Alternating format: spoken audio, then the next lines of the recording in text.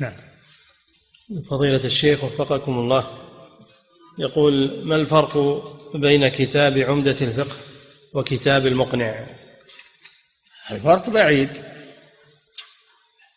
عمدة الفقه مختصرة في أوراق وأما المقنع فهو يتكون من مجلدين ضخمين.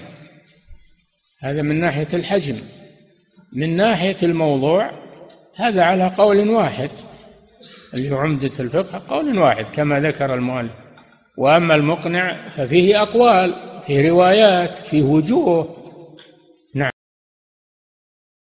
المكتبة الصوتية لمعالي الشيخ صالح بن فوزان الفوزان حفظه الله.